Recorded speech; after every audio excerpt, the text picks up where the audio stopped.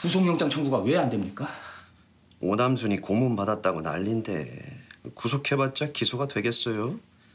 검사님도 새로 오셨는데 첫 사건부터 독박 쓸 순 없잖아요. 내가 범인을 잡아왔으면 당신들은 기소를 해야 맞지! 범죄자가 걸어 나가는데 그냥 두 손 놓고 구경만 해요? 나도 그 쓰레기 같은 놈 쳐놓고 싶어요. 근데 우리가 힘이 있나? 법이 그런데. 애초에 팀장님이 법대로 했으면은 이럴 일도 없잖아요. 계장님 가족이 납치돼도 그렇게 한가한 소리 할 겁니까? 팀장님 무슨 말을 그렇게 해요? 내 가족이 죽게 생겼는데 법 따질 수 있겠냐고. 법대로 할 수 있는 건 다른 걸 찾았겠죠. 안 계세요?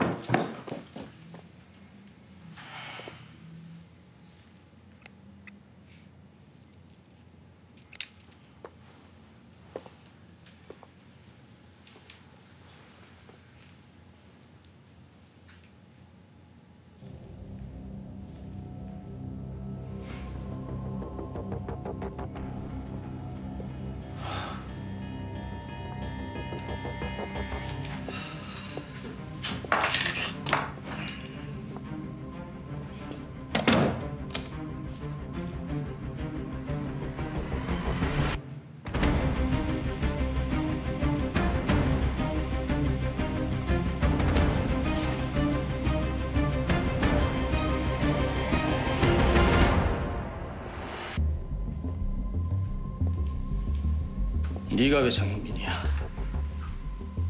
장선호지. 오랜만에 듣네요. 그 이름? 13년 동안 감쪽같이 사라졌다 했더니 이름을 바꿨어.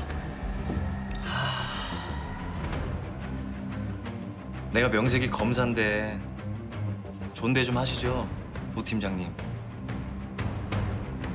존대는 사람한테 하는 거지. 난 범죄자 새끼는 사람 취급 안 해. 범죄자? 아, 아직도 걔 말을 믿어요? 이름이 뭐였더라?